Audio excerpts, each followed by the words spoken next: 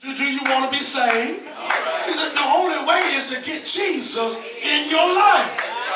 No other thing is going to fill you up. Because you've been trying some stuff and it ain't filled you up yet. You've been doing some stuff and it ain't filled you up yet. The Bible says the only way you're going to get filled up is through the person of Jesus Christ. He said when you accept him, really accept him in your heart, some things are going to change. You're going to see an attitude change. You're going to see a heart change. When you really accept him as your, as your salvation. Uh-huh. But then he says God will be, God will be your strength too. He says my light, my salvation, and then he's my strength. Uh-huh. As strength, God delivers us from the defeat of death. Is anybody glad? As, as, as strength, God gives us strength when we've run out of strength. Uh-huh. Has anybody ever been there? You ran out of strength. But you prayed to God and, and, and it came from, it came back to you. By design, y'all. 1 Corinthians 15, 57. It says, but thanks be to God, which giveth us the victory through our Lord Jesus Christ. Notice how it comes now. It doesn't just come just because you think of it.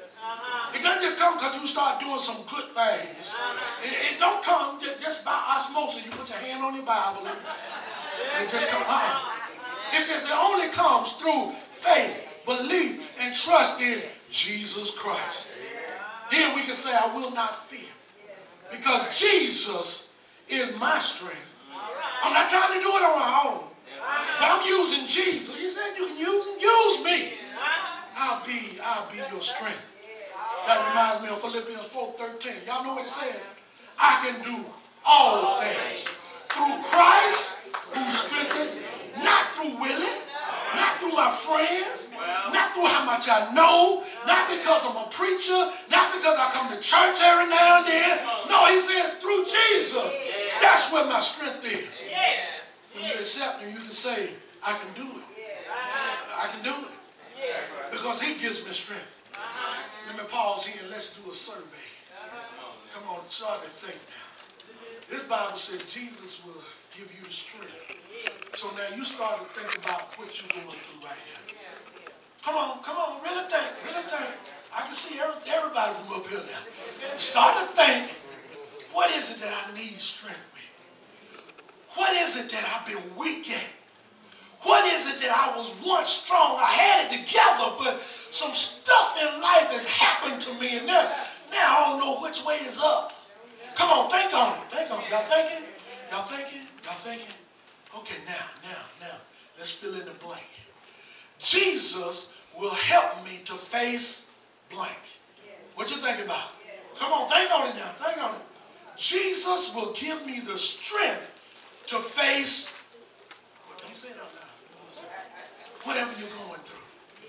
Jesus will give you the strength to face anything in life. Now I'm looking at this around this room and I see some folks that I know that know that it's true. When you lose a loved one, Jesus will help you. He'll give you the strength to get there. When, when, when, when they cut up, when they cut you off and, and give you that pink slip, oh, great God Almighty, y'all ain't been there. I've been there. Uh, they, they told you we ain't gonna cut your job. Come in that morning, Kevin. Yeah, yeah. Let me just report to the office, please. when you lose your job, he'll give you strength to get through it. When, when, when, when, when your children just acting crazy, you've done all that you can do, you, he'll give you strength. You fill in the blank and make it personal. Jesus will. He'll give you strength to get through. He said, okay, now, now God is my light. He's my salvation. And he's my strength. He says, now that's what I know about God. He says, I know those, I, I know some more about him. But, but those three things, I know that God will help you do. So, so he says, okay, let, us take it a little further now. So in verses 2 and 3, he says, now let me, let me think about the past. Let me think about the present. And let me think about the future, because I know I know what he can do, right? I, I, know who he is. I know he's light and strength and, and stuff. And I know he's that. But but now let, let, me, let, me, let me tell you about my about my personal testimony. So so what, what does he say in verse 2? He says, what happened? When the wicked came, that's past tense, y'all, against me to eat up my flesh. Who were they? My enemies and my foes. What happened to them?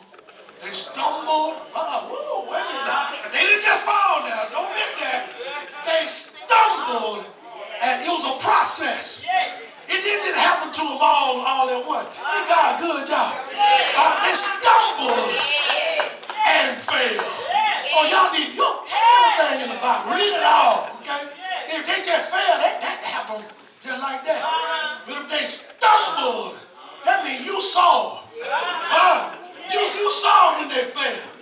But, but, but watch this now. Enemies doesn't just have to be folks. Enemies can be health. Uh-huh. Huh? Think about that time God brought you through. Huh? You were sick in the hospital. Doctors didn't know what, what was going on. But you made it through. Uh-huh. Huh? Been to Dr. Sutherland, he gave you some bad news. Uh-huh. But I, see, I went to the doctor, y'all. Thank you, Holy Spirit. On Friday. Before I went, A1C up, sugar up, all that. Four months later. Oh, I might not have to take you off this medicine, boy. You doing pretty good. So thank you, Lord. He said, but, but let, us keep on just for a little while longer. I said, thank you, Lord. Won't he do a job? He'll do it for you. He said, well, my enemies and my foes don't have to be, don't have to be illness either. It can be a hard time that you had. But you here today. Huh? Folks said you weren't gonna make it. And some family member told you, you, you through. You done with. Huh? Come on, y'all, let's be honest. But look at you here today. Look at you right here, right here today. Right there, put you in the grave too, on. I saw him, y'all. He ain't gonna make it too much. I seen him, y'all. Uh, devil is a lie. Yeah. My enemies, they, they stumbled and they and they failed. So he said you can have confidence in the Lord for, for what he did in the past. But then he says, though an enemy, though, though, though, now this is in the, in the future, though an army may encamp against me, that it hadn't happened now. But he said, should it happen, my heart will not fear. He said, now, now, now that's one thing to have an enemy, but, but then there's a there's a deeper thing called war. He says, though a war may rise against me, I still, I still have confidence in the Lord. Because I know what God did for me in the past. I know what he's doing for me right now. So if it should happen again, he says, I'm not worried. That's what you and I need to get, y'all. Uh, it hadn't happened yet. But just in case it does, it, it doesn't matter. Because the same God that brought me through last time, I'm confident that he'll bring me through. Bring me through again. Do you have some word on that? I do, Pastor. I got some word. Look there on your paper. The same confidence of David has hours a day. The God we serve is unchangeable. Oh, look at that. Uh, excuse me, Malachi 3 and 6. You see what it says? For I am the Lord. I do not change. Therefore, you are not consumed, O sons of Jacob. Now here, Malachi is talking to the children of Israel. But is anybody glad? Jesus was a Jew. And when he died for our sins, the Bible says we were engrafted into the family. So if he was talking to the Jews then, he's talking to us right now. Hebrews 13 and 8. What does it say? Can we read it together? Y'all got it there? You ready? Jesus Christ is the same yesterday, today, and forever. Come on, y'all, let's read that again. Jesus Christ is He's the same God. He got the same power. If he if he opened up the Red Sea for the children of Israel, uh, when, when you facing your Red Sea, oh, do I have any witnesses? He'll open that up too. Huh? The same God that did stuff in the Bible is the same God who will do it for you right now. If he did it for you back then, he'll do it for you right now. And then he'll do it, he'll do it in the future too. Is anybody glad today? The God we serve, the Bible says